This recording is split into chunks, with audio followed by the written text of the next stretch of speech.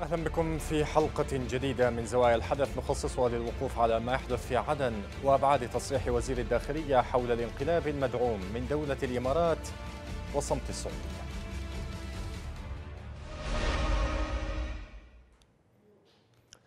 اتهم نائب رئيس الوزراء وزير الداخلية أحمد الميسري دولة الإمارات بالانقلاب على الشرعية وإسقاط الدولة في العاصمة المؤقتة عدن.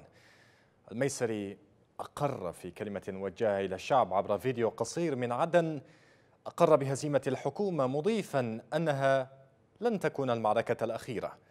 ووصف الميسري صمت الرئاسة اليمنية تجاه أحداث عدن بالمريب قائلا إن مؤسسة الرئاسة والسعودية لم توفقا في صمتهما لأربعة أيام عندما كانت الإمارات تذبح الشرعية في عدن من الوريد إلى الوريد.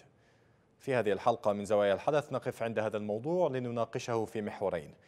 إلى أين يتجه المشهد في الجنوب بعد أحداث عدن؟ وماذا يعني صمت الرئيس هادي والسعودية عما جرى؟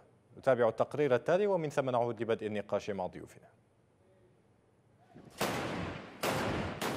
الإمارات ومن غيرها فهي التي نفذت انقلابا ضد الحكومة الشرعية في العاصمة المؤقتة عدن. هذا ما تحدث به وزير الداخلية نائب رئيس الوزراء أحمد الميسري مسجلا للتاريخ الفصل الأخير من المعركة. نحن نقر بالهزيمة ونبارك للإشقاء في الإمارات العربية المتحدة. النصر المبين علينا. ولهذا فإننا لن تكون هذه المعركة النهائية ولن تكون الأخيرة اليوم نحن ذاهبون لنعود. سجل الميسري كلمته الأخيرة وهو يغادر مطار عدن بعد أربعة أيام من المعارك التي شهدتها المدينة بين قوات الحزام الأمني الموالية للمجلس الانتقالي المدعوم من الإمارات وقوات الحماية الرئاسية الموالية للحكومة. إننا لن نترك هذا الوطن للعابثين وسنظل نناضل للدفاع عن الحق ونصرة الحق. مهما كلفنا ذلك ما دام في عروقنا تسير الدماء. لم تكن قسوة الهزيمة هي من دفعت بالمحارب الأخير لتهنئة الإمارات والموالين لها بالنصر. فالحرب سجال غير أن الأقسى كان الصمت المريب للرئيس هادي تجاه الأحداث. قال الميسري وهو يمضي إلى الرياض إن مؤسسة الرئاسة والسعودية لم توفقا في صمتهما لأربعة أيام عندما كانت الإمارات تذبح الشرعية في عدن. وهما من يفترض أن يقفا في الصف الأول ضد توغل الدولة التي وجدت في اليمن مساحة فسيحة لممارسة هوايتها بصناعة الانقلابات والوقوف خلفها. كلمة الميسري كانت النقطة الأخيرة لسيطرة الحكومة على المدينة فالإمارات كانت قد خططت ومولت الانقلاب على الحكومة وكان المشهد يذكر اليمنيين بسقوط العاصمة صنعاء. بيد الحوثيين في سبتمبر 2014 ففي نهاية يونيو الماضي أعلنت الإمارات وهي القوة الثانية في التحالف الذي تقوده السعودية انسحابها من اليمن بعد أن دربت تسعين ألف جندي من الموالين لها. ويومها خرج أحد مسؤوليها وهو يتحدث بأن ذلك أحد النجاحات الكبيرة لها. وبعد شهر واحد كانت قوات الحزام الأمني الموالية لها تسيطر على مدينة عدن بالكامل بعد أربعة أيام من المعارك الضارية ضد قوات الحماية الرئاسية الموالية للحكومة. أجدد الترحيب بكم مشاهدينا الكرام إلى هذه الحلقة من زوايا الحدث. كما أرحب بمن ينضم إلينا من جدة مستشار وزارة الإعلام السيد مختار. رحبي أهلا بك سيد مختار. بداية كيف تنظر إلى واقع ما قاله وزير الداخلية أحمد الميسري؟ نعم اولا مساء الخير عليك وعلى المشاهدين الكرام وضيوفك الكرام جميعا. آه نائب رئيس الوزراء وزير الداخلية تحدث بكل شفافية وتحدث بكل صراحة وشرح الواقع وشرح ما الذي حدث طوال الفترة الماضية منذ بدا انقلاب الميليشيات العنصرية القروية التابعه لدولة الإمارات وتحدث عن آه، آه، الخذلان الذي تعرض له في الميدان وأيضا عن الصمت وتحدث عن الدعم المهول والكبير الذي قدمته دولة الإمارات لهذه الميليشيات والتي آه، آه، آه، يعني وصلت إلى 400 مدرعة عسكرية وأيضا 100 طقم عسكري تم تسليمها للمنشاوي صالح السيد الذي قام بحصار اللواء الرابع حماية رئاسية بقيادة مهران القباطي بالتالي الواقع هو الذي تحدث يعني ما الذي حدث نائب رئيس الوزراء شرح بحرقه وتحدث في وقت وهو بعد معارك وبعد نضال وبعد صمود أسطوري له داخل مدينة عدن. وبالفعل المعركة يوم لك ويوم عليك وهذا لا يعني انتهاء الدولة وانتهاء الشرعية إنما هو فصل من فصول الصراع مع هذه الميليشيات ومع هذه العصابات التي تحاول السيطرة على البلد في الشمال وفي الجنوب. يعني السيناريو الذي حدث في مدينة عدن هو نفس السيناريو الذي حدث في العاصمة صنعاء في 2014 نفس الشعارات التي رفعها الحوثيون رفعتها هذه الميليشيات. نفس الاتهامات التي رفعها الحوثيون رفعتها هذه الميليشيات. نفس الطريقة في محاصرة الألوية العسكرية. وأيضا في محاصرة القصر الرئاسي في صنعاء حدث نفس هذا السيناريو في مدينة عدن بالسيطره على المعسكرات وبعد ذلك الانتقال إلى آه، آه، القصر الرئاسي الذي لم يدخلوه وحتى هذه اللحظة. يوجد هناك قيادة عسكرية من اللواء من الألوية ألوية الحماية الرئاسية. هم سيطروا فقط على البوابة الأولى للقصر المعاشير ولم يستطيعوا أن آه، يتعدوا البوابة الأولى حتى هذه اللحظة. تفضل بالبقاء معي سيد الرحبي. أرحب بمن ينضم إلينا من القاهرة الباحث السياسي السيد ماجد المدحجي. أرحب بك سيد المدحجي. إذا وزير الداخلية أحمد الميسري آه، يقر بهزيمة الحكومة آه، لكنه يقول أنها لن تكون المعركة الأخيرة. كذلك يقول إن مؤسسة الرئاسة والسعودية لم توفقا في صمتهما لأربعة أيام عندما كانت الإمارات تذبح الشرعية في عدن من الوريد إلى الوريد. كيف تقرأ هذه التصريحات في سياق ما يجري على الأرض؟ مرحبا بداية. أنا بالتأكيد هذا التصريحات حق الميسري هي يعني لا تضيف جديدا. هي, هي تقول أساسا ما كان الإدراك العام يتناوله أنه كان هناك صمت على مدى أربع أيام من المملكة وناهيك عن أساسا الصمت المفجع للرئيس هادي. ورئيس الحكومة ونائب الرئيس. يعني الأمر لا يتعلق فقط بالرئيس هذه بل بكل الطاقم الذي يدير البلد بكل التشكيلات. يعني وأيضا على الرغم من الصمود المهم واللافت كان للميسري والجباني وغيره وغيره لكن هذا فشل له علاقة أساسا أيضا بهم. يعني على مدى عام بين قوسين منذ المعركة الأولى لم يتم تجهيز أي شيء. يعني كان هناك في فشل حتى بالمعنى الأمني والعسكري من قبلهم. بكل المستويات لا تكفي النهايات الدراماتيكية التي يتم فيها الرثاء للبراء من المسؤولية هناك هزيمة حقيقية المجلس الانتقالي بادائه المتوتر والعدائي كان معلن عن أهدافه على مدى كل الفترة الماضية وكان يتحين أي فرصة ووجدها بينما الآخرين لم يقابلوها سوى بالفشل. يعني لدينا كارثة حقيقية حدثت تم تصفية الحضور الرمزي للشرعية حقيقة في عدن على يد المجلس الانتقالي والآن نحن يتم تدارك الأمر كمان بطريقة غير واضحة ولا غير مفهومة. لدينا مشكلة في أداء مؤسسات الدولة في أداء المسؤولين الحكوميين. قبل الذهاب إلى تحميل أي طرف وهم مسؤولين بالتأكيد كل من التحالف والإمارات دعمت المجلس الانتقالي بالتأكيد في هذه المغامره هذه المغامرة المجنونة والكل والمملكة صمتت لكن هي مسؤولية الدولة اليمنية قبل كل شيء من جعلت الأمر يسيرا. أمام هكذا هزيمه تفضل. طيب الآن بعد 40 مدنيا يعني الأمم المتحدة تقول أن 40 مدنيا قتل أكثر من 260 أصيب. هل ما جرى كان يمكن أن يعني آه، آه، كل هذه المعارك وكل هذا هؤلاء القتلى كان يمكن لهم الا يسقطوا ولا تحدث هذه المعارك لو يعني انتقل الميسري قبل أن تحصل المعارك وخرج كما حدث الآن في نهاية المطاف. يعني الآن نحن في إطار افتراضات هذا هذا رقم في الهواء عزيزي. يعني ماذا لو ماذا لو حدث. الآن نحن نتعامل مع حقائق. هناك أعداد كبيرة من القتلى من العسكريين. لأن, لأن هناك حديث على أن المعركه يعني السيد مختار رحبي وهو معنا الآن يقول على أن المعركة يوم لك ويوم عليك. الميسري أيضا يتحدث على أنها لن تكون المعركة الأخيرة. يعني يفهم من هذا هذه نعم. هذه ثاني معركة سيدي. هذه ليست الأولى وليست فقط الثانية. هي هي وهي الحين المشكلة ليست في كون الوقائع قابلة للتصرف. هذه مشكلة هي مفصحة تماما عن ضعف حقيقي مش ضعف فشل حقيقي أساسا في إدارة المؤسسات التابعة للدولة بما فيها الجيش. يعني على مدى أربع سنوات لم تستطع أن تبني ألوية حقيقية للدفاع عن مؤسساتك خليك اللي يخوضوا من المعركة ضد الحوثيين لكن حتى الذين يحموا مؤسساتك ومواقعك الرسمية في ظل تحدي أساسي وجودي كان يشكله المجلس الانتقالي على مدى عام. الموضوع ليست يوما لك يوما عليك. المشكلة هي تحديدا في كيفية إدارة هذه الدولة المؤسسات وقيام هؤلاء المسؤولين بمهامهم. يعني الآن الحديث فقط عن علي عبد الرب منصور هذه وهذا حقيقي لكن كمان يجب الحديث عن نائب الرئيس يجب الحديث عن معين عبد الملك رئيس الحكومة عن وزير الدفاع عن رئيس الأركان عن كل المسؤولين عن التشكيلات العسكرية والأمنية في البلد. أين هم وماذا يفعلون يعني؟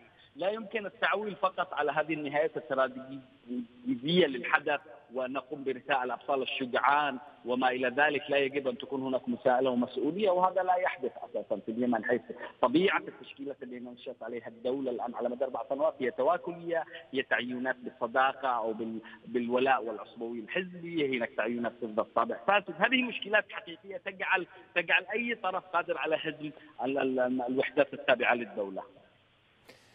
تفضل بالبقاء سيد معي سيد المدحجي. اذا أين هم المسؤولون الحكوميون؟ وماذا يفعلون؟ يتساءل السيد المدحجي. يعني في سياق ما جرى خلال الأيام الماضية آه، ما هو الرد سيد مختار رحبي؟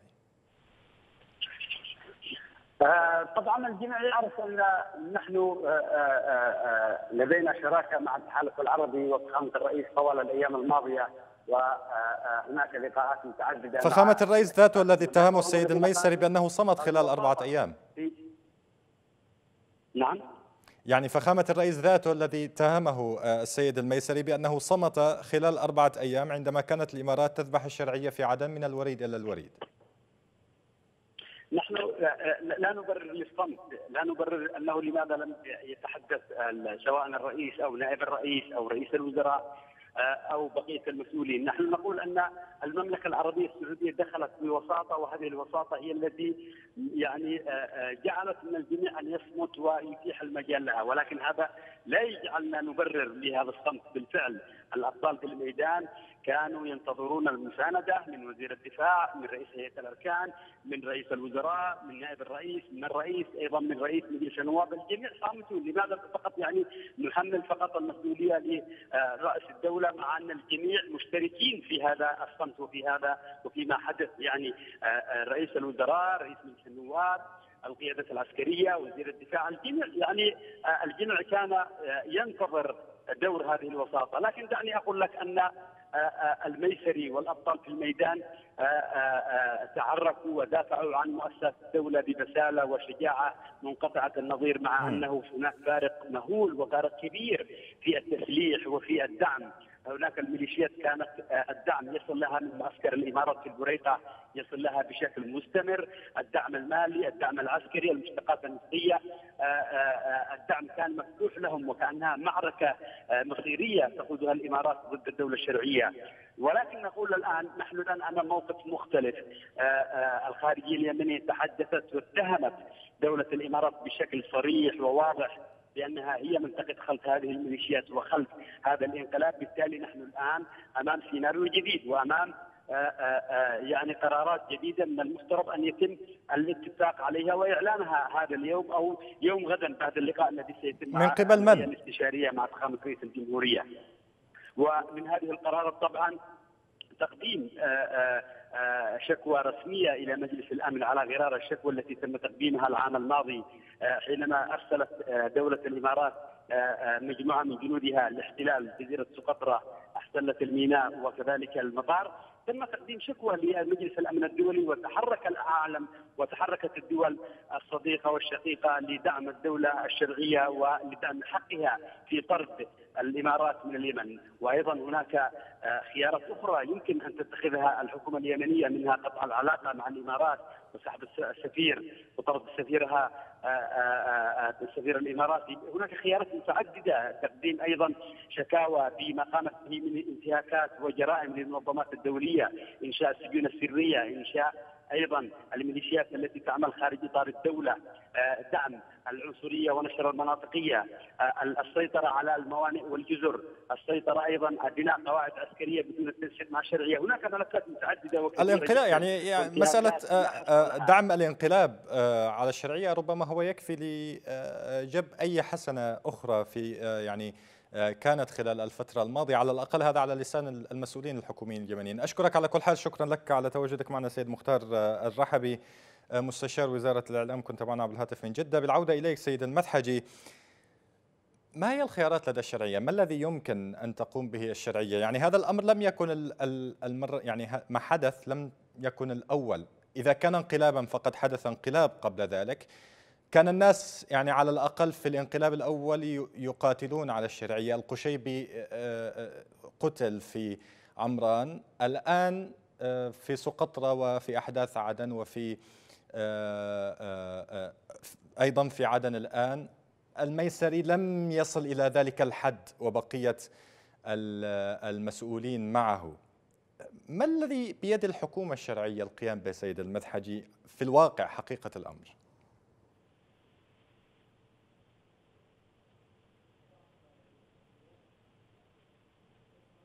سيد المدحجي أنت معي؟ سيد ماجد؟ يبدو أن هناك خلل في التواصل مع السيد ماجد المدحجي من القاهرة. أرحب بمن ينضم إلينا من العاصمة الأردنية العمان السيد مستشار سيد أنيس منصور المستشار الإعلامي السفارة اليمنية في الرياض. أرحب بك سيد منصور. إذا تصريح للميسري وكذلك بعد ذلك كان هناك قمة ما وصف بأنه قمة سعودية يمنية للرئيس هادي والملك سلمان.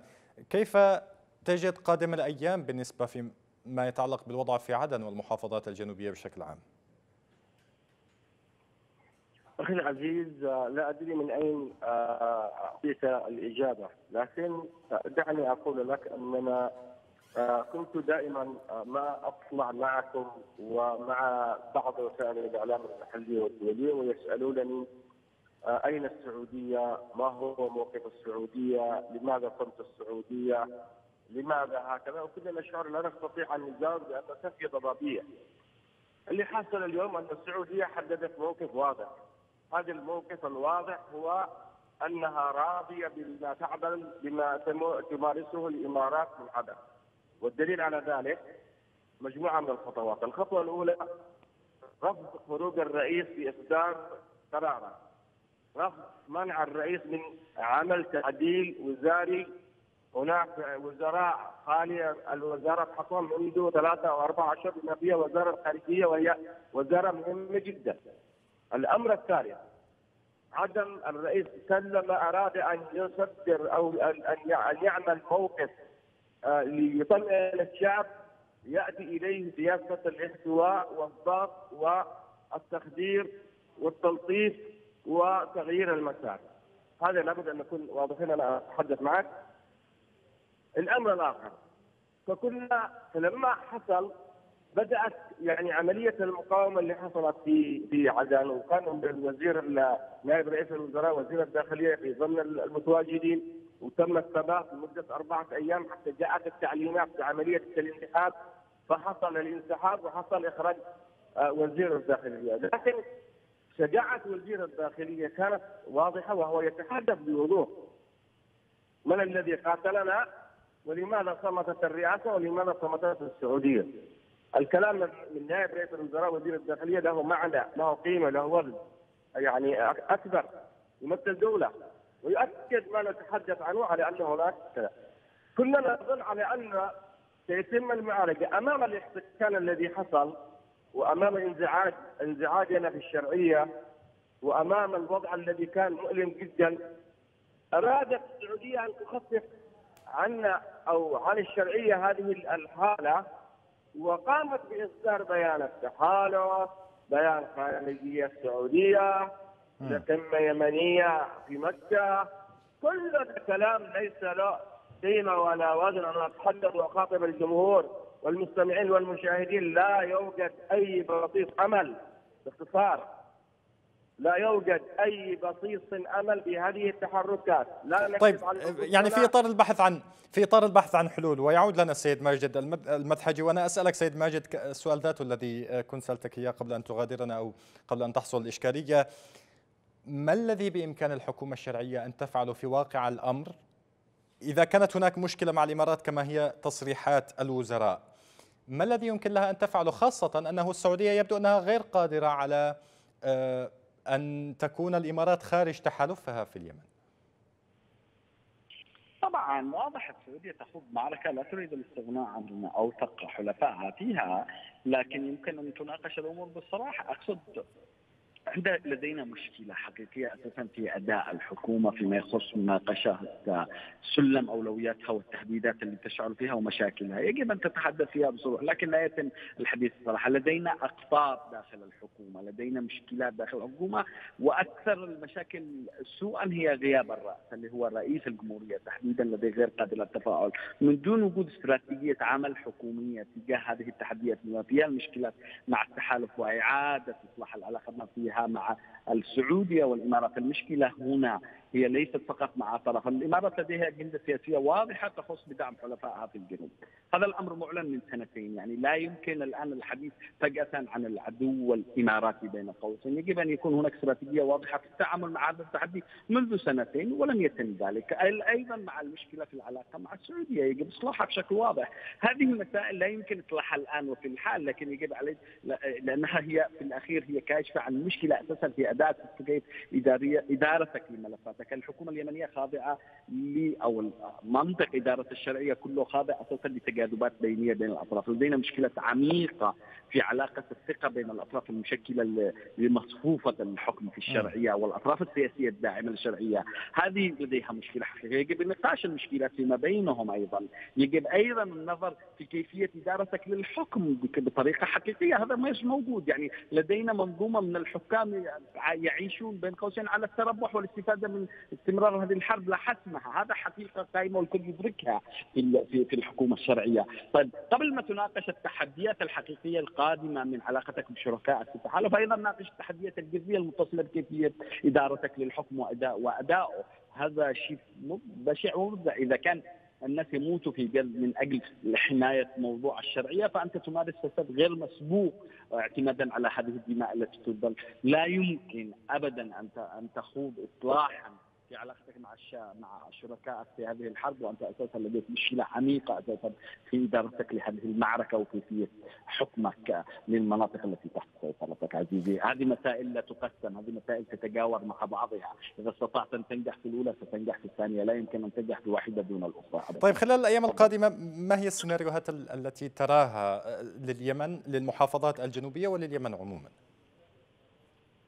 طبعا لا أعتقد إنه بالمعنى السياسي نحن نشهد ذهابا إلى انفصال في واقع الحال. واضح إنه هناك إرباك الآن إرباك لدى كل الاطراف بما فيهم المملكه والإمارات والحكومة الشرعية. الآن في محاولة إذا صح الوصف لاعاده ضبط المصنع والعودة إلى الأمور إلى مرحلة ما قبل أحداث 8 8 هذه هذه الوقائع تحديدا آه ستبقى معقده لأن الأثر السياسي نتج عن هذه هذه المغامرة العسكرية للمجلس الانتقالي وهو تقويض حضور الرمزية بشكل كلي في عاصمه عدن. الآن الأرضية السياسية التي تخاض باسمها الحرب ضدا على الحوثيين وهي استعادة صنعاء أساسا ضعيفة لأنك إذا كنت لا تستطيع حماية العاصمة الثانية لك من شركائك من من المجلس الانتقالي ومن حلفائك الإقليميين فكيف أساسا تخوض حرب ضد الحوثيين تتساوى تتساوى الاسباب، هذه مشكلة عميقة حتى في لدى السعودية حتى لدى الحكومة، هذه مسائل أعتقد يجب أن تناقش هذه اليومين وستناقش، لكن لا أدري بأي لا هل بوضوح؟